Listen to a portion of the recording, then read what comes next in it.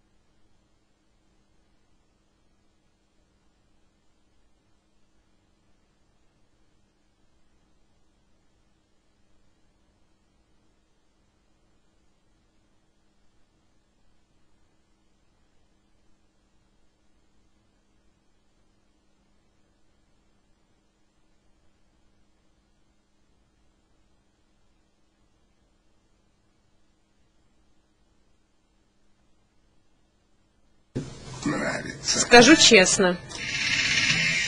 Все, поехали уже. Да, оно все А выстроено. он слышит. Дополнительного разрешения не Все выстроено. Сейчас режиссер. Эту программу транслирует компания «Сетевизор». Радио «Эхо Москвы» Спасибо, Сан Максимович. Представляют программу «Особое мнение».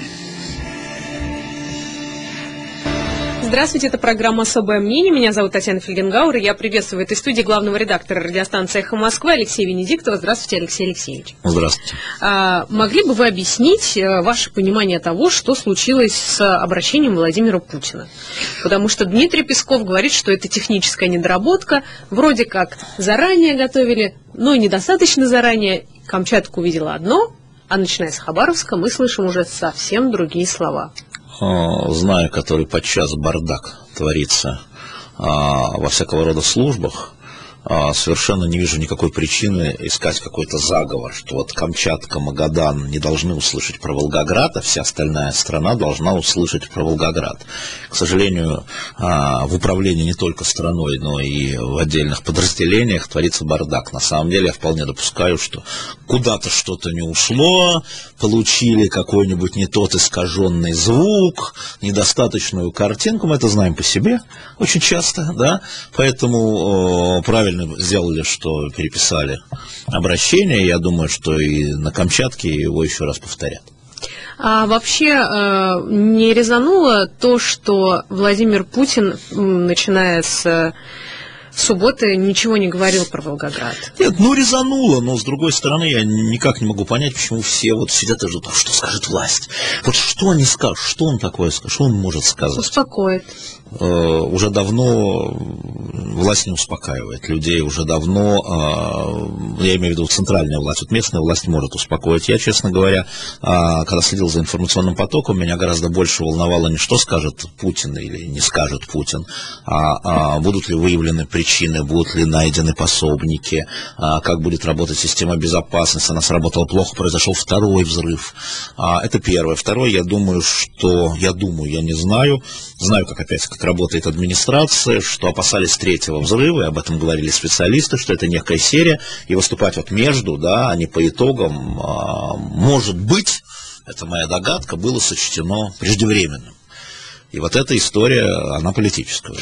А, но если не ждать слов, то, может быть, ждать действий каких-то. Мы не увидели опять ни Ну, одной ну, отставки. ты знаешь, дело не в отставках. Я вот, например, э, считаю, да, мне легко советовать, но я считаю, что, конечно, правильно, что Путин полетел там на место трагедии, я имею в виду Хабаровск, но все-таки, наверное, можно было залететь в Волгоград. Я знаю, что безопасность возражала очень серьезно, путинская, я имею в виду, да-да.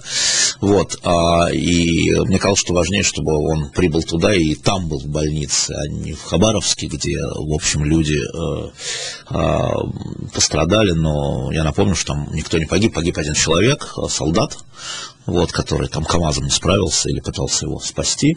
Вот, это очень важно, но здесь погибли люди, уже 34, по-моему, человека. Мне казалось, важнее было бы а, для Путина поехать сюда. Но зная, как работает административная машина, безопасность поехала вперед, передовая группа поехала вперед. Готовили людей. Я не оправдываю, считаю это неправильным. Но просто я понимаю, насколько административная машина неразворотливая а, у нашего президента. Это так. Ну, еще раз повторю, что э, если бы хозяином был я, что называется, да, я бы ему посоветовал, конечно, поехать в Волгоград. А Если говорить о трагедии в Волгограде, э, ни- ничего не получается в вопросе борьбы с терроризмом?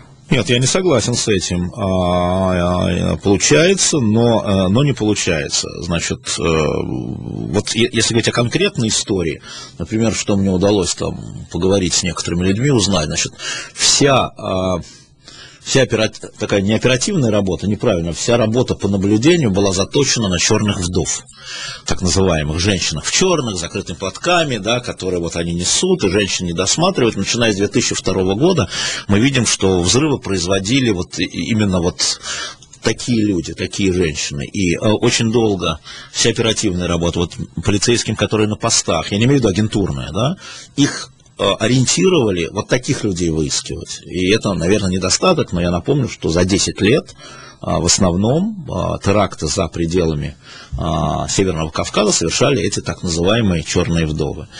И когда появились мужчины, как сейчас говорят, славянской внешности, просто, ну вот да, можно сказать, что это недоработка. А, но э, я вот с трудом понимаю, как можно, а, значит, вот э, гражданина Российской Федерации, работающего там, предположим, а, в Казани, там, как говорят, там, славянской внешности, с рюкзаком, за- какое основание его задержать, если нет оперативных данных, что это в этом мечети, что он ушел в радикализм. Я хотел сказать спасибо Алексею Соломину, который там в этой мечети побывал и взял интервью у человека, который там общался а, с подозреваемым, назовем его так, но это предусмотреть совершенно невозможно. То есть, ну вот э, а, американцы просмотрели Царнаевых, и мы видим, вот тут же главное что, чтобы разбор был, кто просто не вообще отставку должен уйти президент Обама, предположим, или там директор ФБР, да, вот они вели Царнаевых, а здесь над этой мечетью было наблюдение. Кто пропустил, на каком этапе пропустили, да, ведь вели же, вели, вели, вели, за этой мечетью вели наблюдение. И так далее, и так далее. То есть нужно, прежде всего, есть а, операционная ответственность, что называется, военная ответственность, силовая. Есть политическая ответственность, но в нашей стране с политической ответственностью совсем плохо. Потому что а, возложили ответственность, и, кстати, давно на губернаторов, Да, не и- придав им ресурс. Да, Да. вот сейчас подтвердил опять Но это- это так комитет, что личную ответственность за безопасность... Это несколько лет тому назад, я просто напомню, было сделано, когда губернаторы были поставлены во главе региональных советов Совбезов, безопасности. Совершенно верно, где они координировали всю правоохранительную деятельность в регионе. И, э, но ресурсы им не дали, кроме вот этой координации. То есть э, им не подчиняются силовики, им не докладывают силовики. Да, они там отвечают частично за финансирование, частично за обеспечение силовиков жильем и так далее. То есть вот это просто система неправильно устроенная. А, надо сесть договориться, как она должна быть устроена, тогда возникает персональная ответственность. А персональная ответственность директора ФБР там, или директора ФСБ, или там, я не знаю, службы Шенбет в Израиле, да, она исходит из того, что не выполнили его люди, были ли правильные инструкции. То есть обошли ли террористы инструкции, или инструкции плохие. Или они их выполняли плохо уже, давайте так серьезно к этому относиться. Я не могу сказать, сколько предотвращено а, терактов в России там, или сравним в Соединенных Штатах Америки, но мы себе приблизительно представляем, что их предотвращают. И там, и там. Десять лет не было в США, а, и у нас, в общем, тоже не очень часто. Давайте мы сейчас сделаем минутный перерыв, после чего еще немного продолжим эту тему. Где реклама? Что это было? А, это обивка новогодняя, это новый звук, собственно, радиостанции. Да, я, кстати, тоже- Я видел, видел, я за время поймал, мне нужно было период закрутить. И получите доступ к спецпредложениям. Программой MasterCard Business Bonus ваша компания сэкономит до 25% на мобильной связи, курьерских услугах, авиабилетах, топливе, канцелярии, такси. А ваши сотрудники будут получать бонусы в кафе, супермаркетах, кинотеатрах, просто расплачиваясь зарплатной картой MasterCard. MasterCard Business Bonus. Выгодный для бизнеса. Программа действует с 1 октября 2011 года по 31 декабря 2014 года. Информация об организаторе акции, правилах ее проведения, привилегиях, сроках, месте и порядке их получения на mastercard.ru. MasterCard Europe SPL. Ах, да! С Новым годом! Рекламная служба «Эхо Москвы». Эхо Москвы. Перед употреблением встряхивать.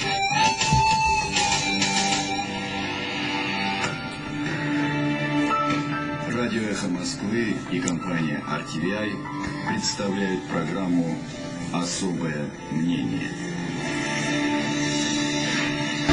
Продолжается программа «Особое мнение», в которой сегодня выступает главный редактор «Эхо Москвы» Алексей Венедиктов. Э, Если говорить о вот этой системной проблеме в работе, а, но здесь же есть еще, я не знаю, насколько это важно или нет, проблема доверия, потому что, как вы сами сказали, мы же ничего не знаем. Да, и а, проблема доверия очень важна, и мы знаем, что в Волгограде а, губернатор такой, а, в общем, а, человек, который позволяет себе и лишнего, скажем так, с точки зрения государственного чиновника, и, конечно, у него должна была сила воли, с учетом всей предыдущей его деятельности, я хочу сказать, не только это, в результате подать в отставку самому.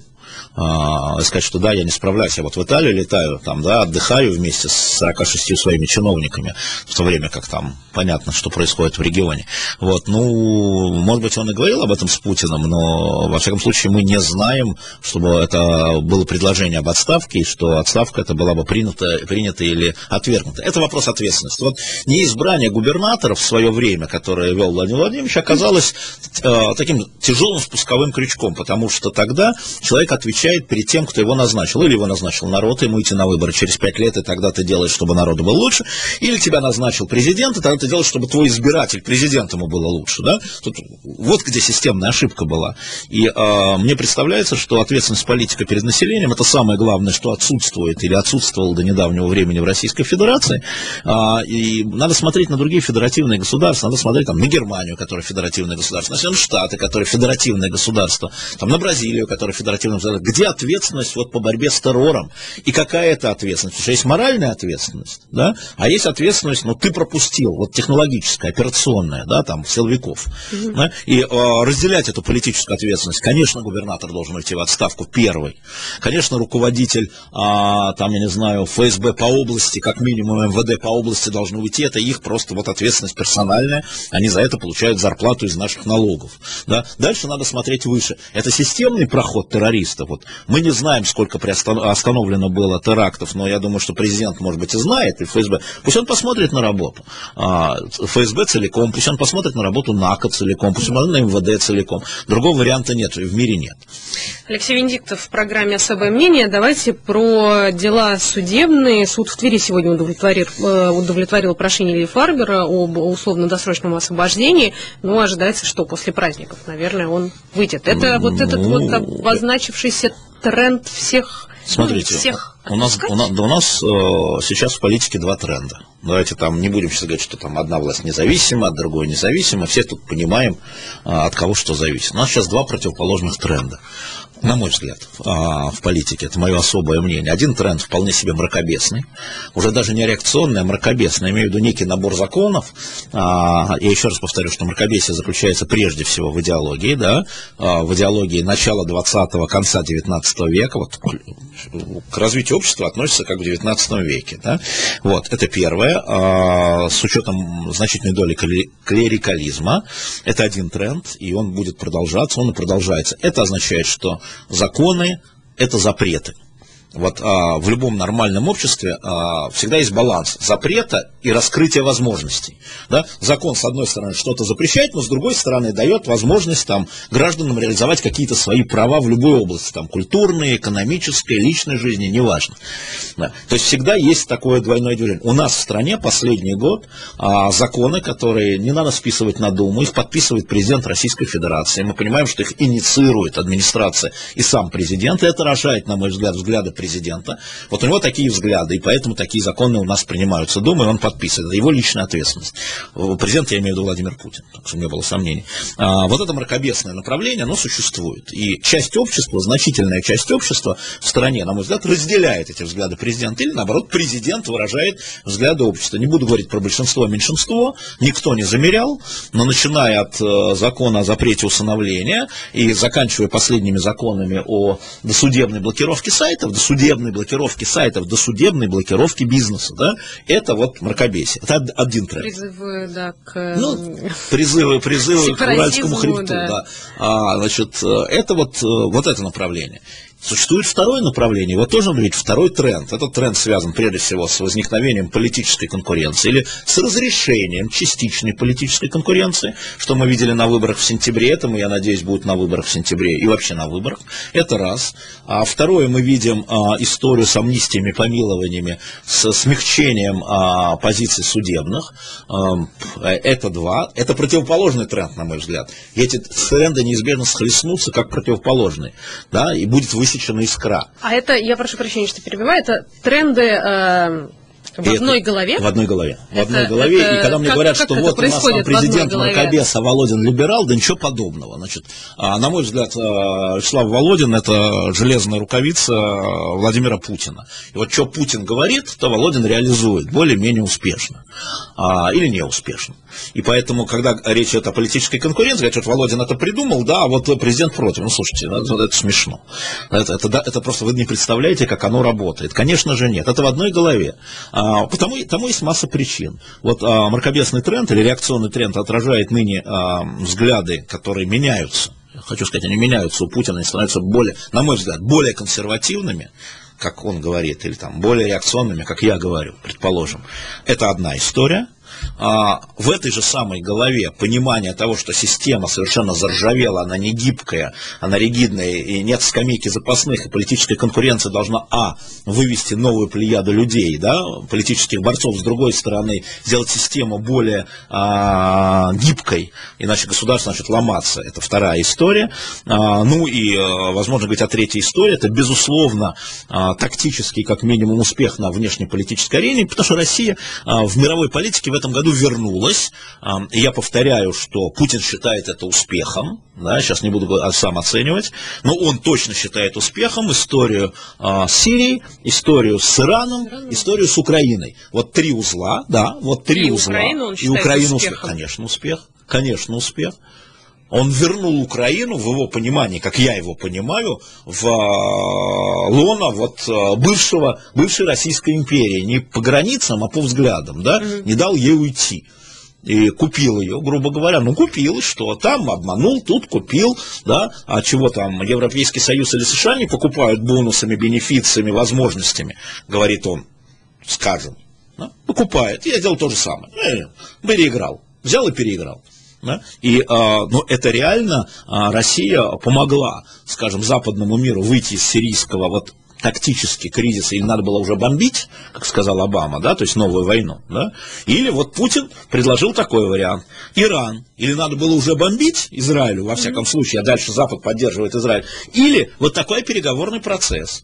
Или на Украине начнутся, а, значит, на Западе а, свои действия, на Востоке свои, а он вот это вот так вот, вот и сохранил единство Украины, между прочим, в его понимании, еще раз, да? Вот успех, то есть возвращение России в лоно великих демократических держав. Мы же не войной это все сделали, Ну да. система переговоров. Вот вам, пожалуйста, а, 2013 год Владимира Путина с тремя трендами, не двумя, а тремя. И это все Владимир Путин. Какой-то когнитивный диссонанс должен возникать. А, Ну и возникает, наверное.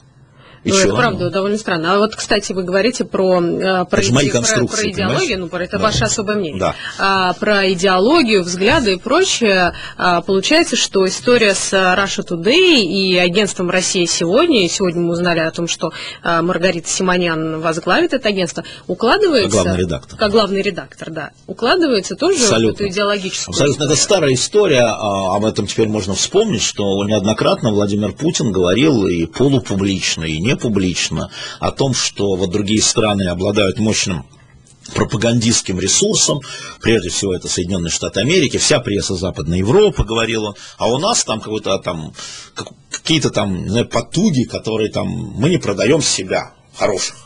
Да, и отсюда возникла Russia Today, собственно, как телеканал, а, вот с а, той эффективностью, которую Путин считает эффективной, скажем так. А, и затем, а дальше, а дальше надо это наращивать, считает Путин. Так я говорю, это 20 век. Я напомню, что самая а, громкая пропагандистская структура UCI, а, в- американская, закончила а, а, свое существование в 1991 году если меня не изменяет память, в 99 году, да, или в 89 году, или в 79-м. Ну вот здесь, все, оно, нет, не в 79-м, или в 89-м, или в 99 году. Все это сочло в нынешнем мире, где господствует информационное общество, где есть социальные сети, неэффективно. Соединенные Штаты Америки и Конгресс принял решение убрать это UCI, потому что это неэффективное тратение денег.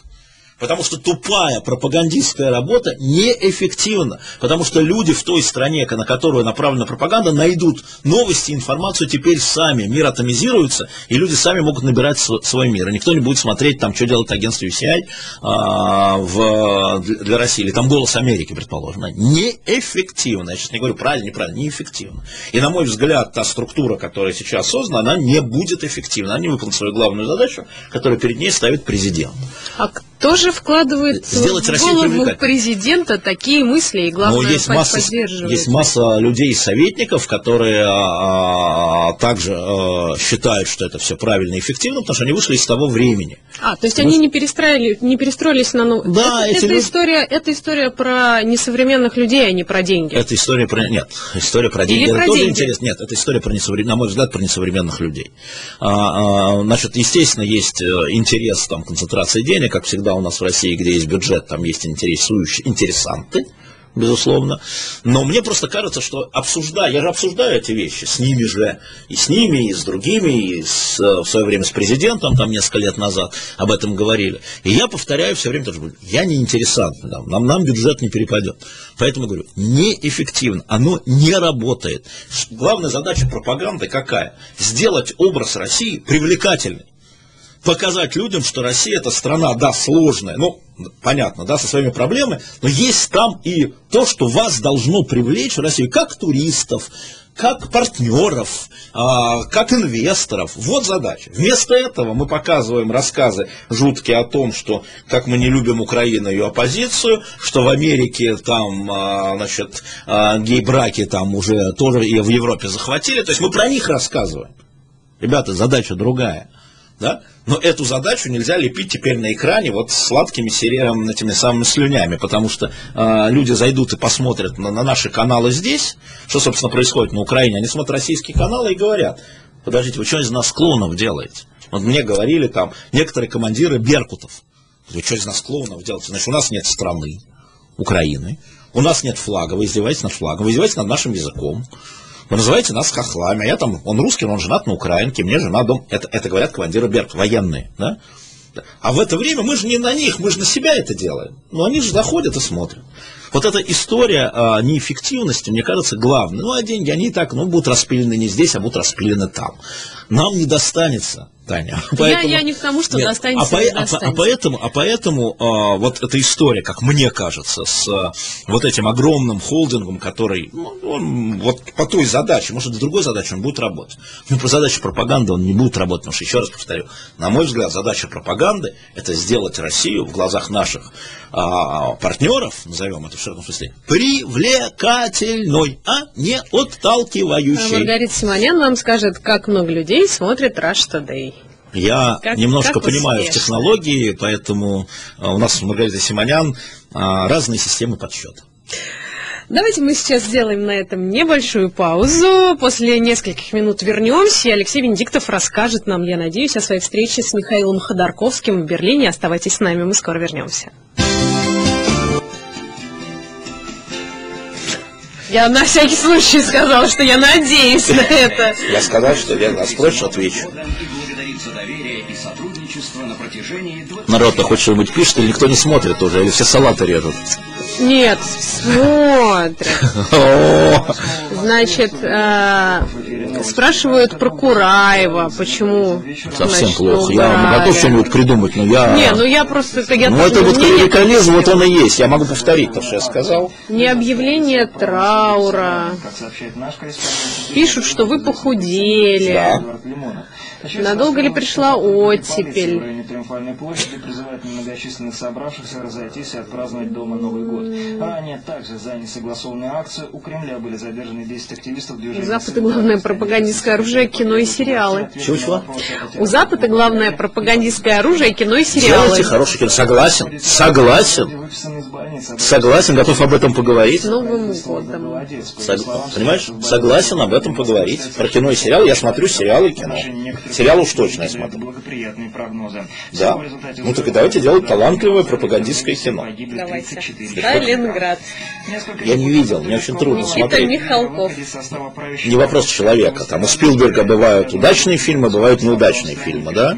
Но а, то, что, конечно, это делается не информационным агентством, Рейтер, Понимаешь, да? Ну да. то есть задача другая. Привлекательность или отталкивание. Вот задача на внешнем контуре. Очевидно. Отражается на расстановке сил, но может негативно И, кстати, в Советском Союзе пропаганда шла про себя любимых. Понимаешь, да? Как раз там в этом было профессионализм. Обвинения во взятках предъявлены двум десяткам. А Корея? чиновникам. Корея, да. Вот это, вот, вот, вот, вот, вот, вот, вот, вот. А у нас там, а у нас там. Будет реклама, будет и эхо, на то мы и партнеры. Мы можем и умеем красиво отдыхать. Это точно. Солнце, легкий бриз и Какое солнце. М, Не, не можем, и не, Нет, нет, я, можно. главное, не хотим. Да, вот это да. на Мы А, хотим. знаешь что, я, наверное, продолжу в Большом дозоре завтра в 22 отвечать на вопросы. Я, может, посажу Плющева, может, сам останусь один на один, если что-то не выберу. Может, Сашку попрошу тогда, чтобы что Большой дозор-то делать. Все равно там надо дырку закрывать. Сотрудницы столичной полиции, дежурящие на Триумфальной площади во вторник вечером, призывают собравшихся представителей оппозиции разойтись по домам, чтобы Да. отмечать Новый год, Да. передает корреспондент Интерфакса. Так эхо только что это мы сказали в новостях, да. Ну, правильно. Мы до 40, трех, четырех. 44 должны попрощаться. Хорошо, 11 минут. Радио «Эхо Москвы» и компания RTVI представляют программу «Особое мнение». Продолжается программа «Особое мнение», в которой сегодня выступает главный редактор «Эхо Москвы» Алексей Венедиктов. Вы встречались с Михаилом Ходорковским, но в отличие от э, журналистов встречались не для интервью. не для интервью. А, Когда мы с ним созвонились, когда я ему позвонил, а, точнее, а, мы начали договариваться о встрече, и я сказал, а можно я приеду без микрофона? А, Вы дали много интервью, мне нечего больше вас спросить, пока, во всяком случае, вы отдали все, что вы хотели. Мне хотелось бы с вами поговорить просто, вас послушать, меня послушать. И Он говорит, отличная идея, замечательно. И я поехал к нему. И вы провели вместе много времени. Мы провели вместе много времени, суммарно 7 часов, 4 в один день, 3 в другой. А, вот, и э, я, мне же очень интересны эти люди. Вот меня сегодня тоже спрашивали, говорят, вот что ты с этими кровавыми гибистами, ну, один товарищ говорит, вот что, я говорю, они мне интересны. Они люди, которые принимают решения, они люди, которые принимают решения о моей стране, обо мне любимом. Да, я хочу понять, как они это делают, хочу понять, почему у них, какие у них мотивы, как они развиваются, как они меняются. Помимо профессионального а, наблюдения, что, в общем, журналист должен делать, и понимания, да, так вырабатывается мое мнение о них, не в интервью. И поэтому, естественно, не только там кровавые, но и не кровавые гибисты, да, и не только гибисты. И вот когда я встречаюсь с людьми разными, а, с разной политической точки зрения, в том числе, конечно же, Михаил Борисович, человек чрезвычайно интересный. Я напомню, что в отличие, скажем, от там, а, Ксении Собчак там, или Ксении Скаловой, я его знал до.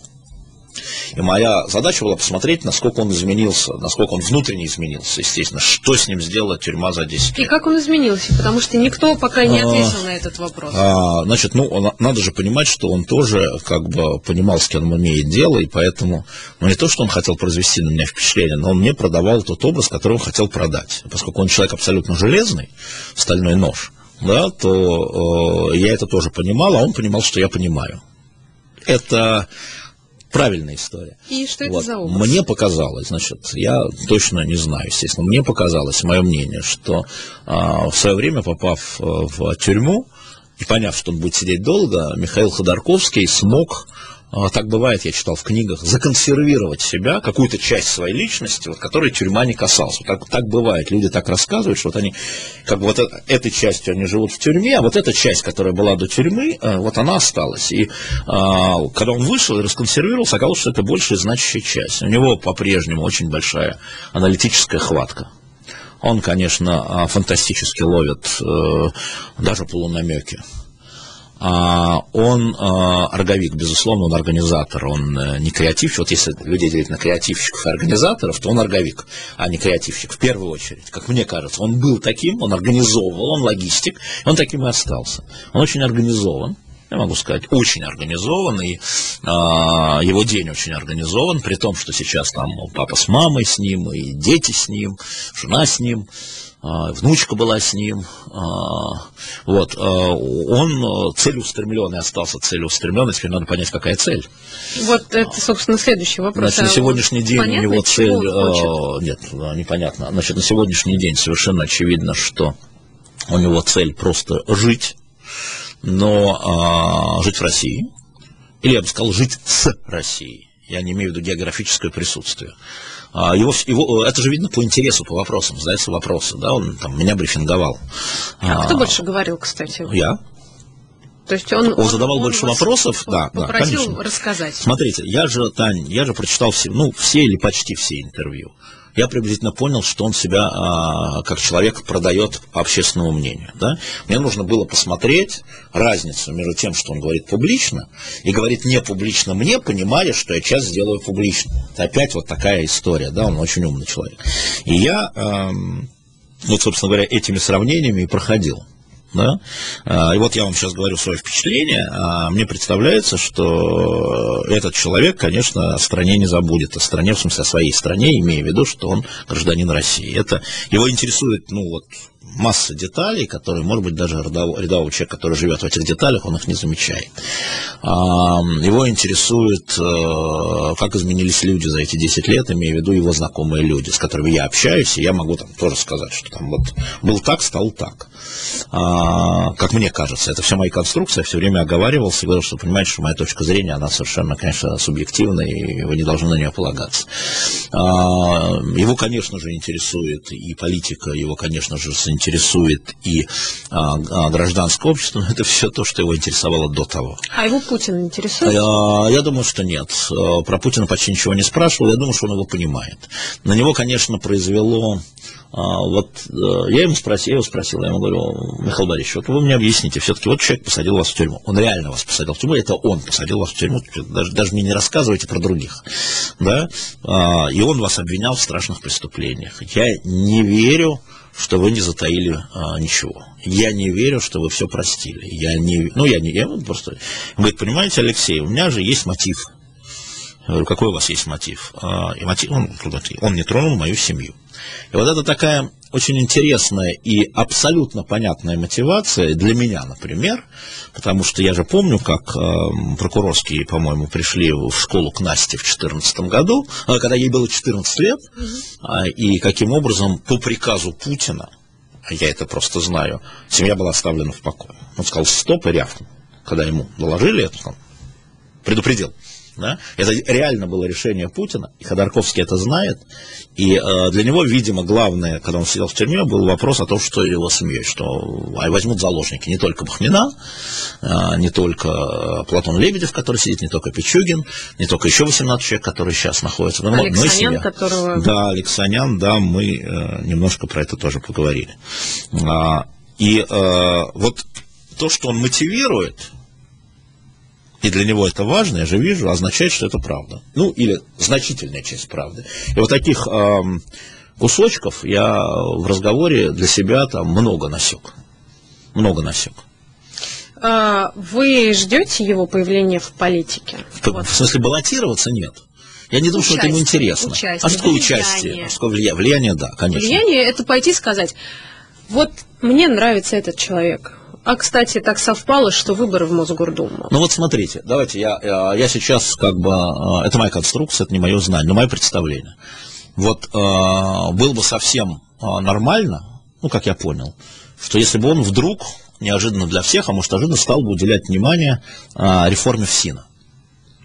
Ну как, вот у нас сейчас Алексей Леонидович Кудрин, он в общественном совете при МВД, он сейчас с Колокольцем, он поручен, он там внутри готовит дальнейшее развитие реформы полиции реальной, да. Значит, Ходорковский изнутри видел работу ФСИНа. да. Неизбежно, это политическая история, реформа ФСИНа, и неизбежно, если условная Ольга Романова, которая занимается Русью сидящей, идет, предположим, на выборы в Мосгордуму, Я не исключаю, что, Кла- что э, Михаил Борисович окажет ей там какую-то поддержку или свой моральный авторитет скажет, мне, вот она правильно идет, СИН должен реформироваться вот так, и я прошу проголосовать за э, жителей за Ольгу Романову. Вот таких вещей дискретных, возможно, возможно, мы увидим. Но там, скажем, я абсолютно сомневаюсь, я не знаю еще раз, да, это результат моего наблюдения.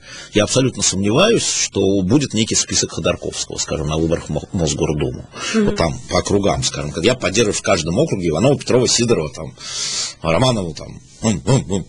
Сомневаюсь. Э, По-моему, это ему сейчас неинтересно, по-моему. А Навальным он интересовался? Интересовался, но э, к моему удивлению, Для общего развития? а, к моему удивлению, я, я думаю, что про Навального ему все рассказала Евгения Марковна Альбац. А, значит, а, к моему удивлению, это было а, такой проходной вопрос, он был. А, Мы с ним а, говорили подробно, мы с ним не только о Навальном говорили, мы говорили о всех а, ключевых игроках, как политики а, властной, да, так и оппозиционной. Да, вот он, и он интересовался моим мнением особым. Вот. Я ему говорю, что мое мнение я вам высказывать не буду, потому что а, оно абсолютно субъективное, я вам буду факты приводить, о которых вы не знаете. Он, например, там не знал, там соцсети для него проблема. Он не очень понимает роль и влияние, еще роль и влияние соцсетей. Вот что ли соцсети? Ну, рассказывал. Вот, интересовался Навальным, а, интересовался Прохоровым, а, интересовался Собяниным, интересовался Путиным, интересовался Сечиным, а, интересовался Нарышкиным, интересовался э, Шойгу, ну, слушайте, Явлинским. Ну, слушайте, вот что случилось за 10 лет с этими людьми, а, с которыми он был знаком. А, про Причем Собянин он знал тюменским губернатором, тут надо просто понимать, вот последняя там, да, история. А сейчас мы рассказываем. В последнюю минуту тогда короткий очень вопрос, не связанный с Ходорковским, а связанный с выборами в Мосгордуму, коль скоро мы их упомянули. А, Как вы понимаете для себя, захотят ли их сделать такими же вот показательно прозрачными, честными, чистыми, как выборы мэра, или нет? А, Значит, первое, я считаю, что, скорее всего, будет принято решение, что не будет списков, а будет 45 округов, 45 депутатов мажоритарных, где будут вести борьбу личности, я так считаю. На сегодняшний день мне это кажется наиболее вероятным.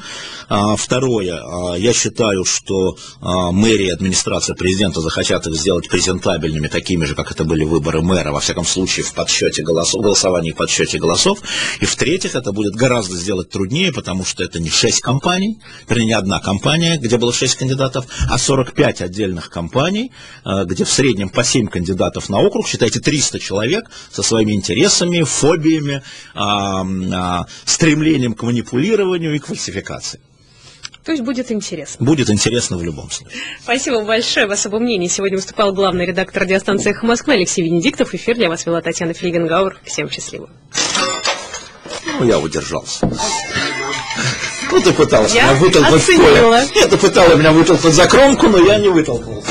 Дорогие друзья, Я на одной ножке проскакал по кромке. А я специально в минуту в новом году вас будет больше встреч, больше тепла. Любите, уважайте.